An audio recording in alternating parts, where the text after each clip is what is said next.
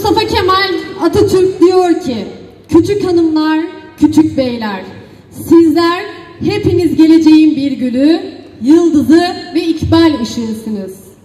Memleketi asıl ışığa boğacak olan sizsiniz. Kendinizin ne kadar önemli, değerli olduğunuzu düşünerek ona göre çalışınız. Sizlerden çok şey bekliyoruz.